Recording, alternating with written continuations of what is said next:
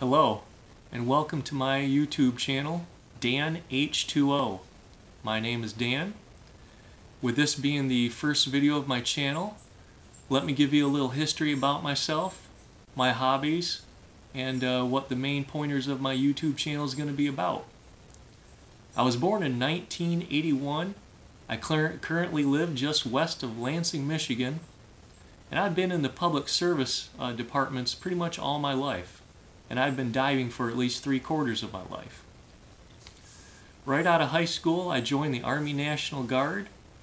Uh, after that, I was a firefighter, I was a correctional officer, and I was a lieutenant for a sheriff's office rescue and dive team.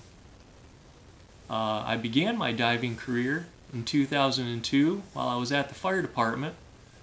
One of my good friends, Brent Corkwell, said, Have you ever thought about being a diver? You talk about uh, National Geographic underwater. You talk about Jacques Cousteau a lot. You talk about uh, all these shipwrecks with all the gold down in Florida. You, you really want to get into shipwreck diving, don't you? I, I said, I'd love to do that. See some of them wonderful ships down there. So he ended up getting me my own set of equipment, uh, which is located somewhere back here in this plethora of mess I've got going on.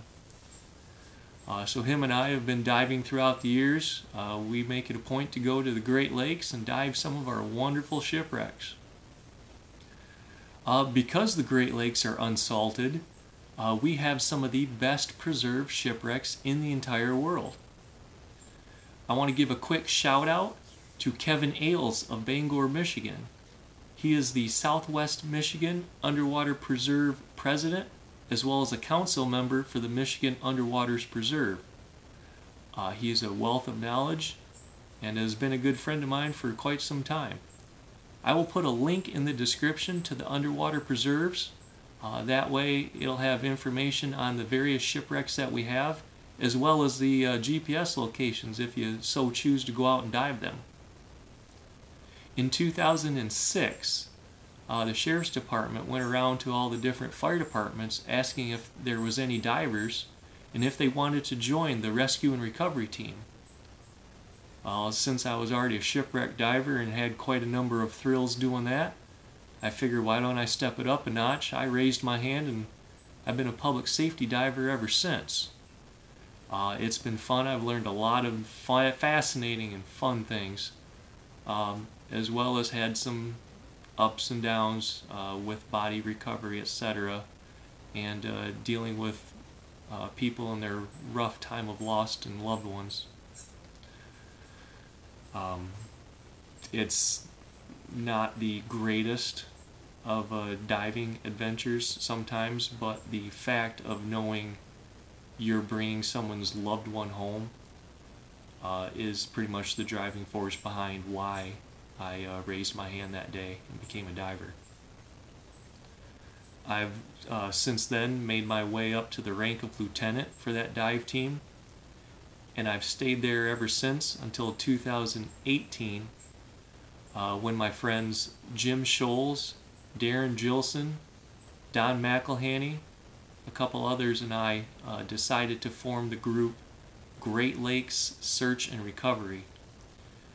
Uh, we formed that group uh, with the purpose of being able to go around to the different uh, dive groups out there in the state of Michigan, hopefully uh, more outside the state, but for right now, the state of Michigan, uh, and to aid them in searching and recovering lost and missing persons.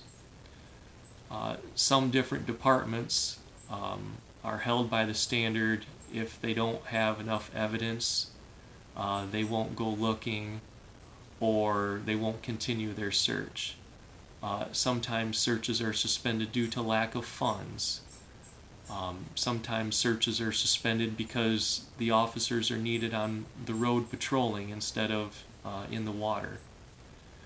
Uh, because we are a state of Michigan government recognized entity, uh, we are able to go in uh, to those areas and work alongside those teams uh, to continue their efforts in bringing the lost person back to their loved ones.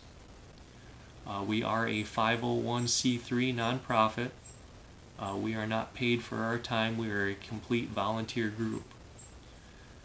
Um, if you've seen, uh, I think the other YouTube channel on here is called Adventures with Purpose. Uh, we do pretty much the same work that they do. Um, for now, that's about all I have. Uh, hit the notification bell. That way you'll get notified next time I post a video, which is hopefully pretty soon.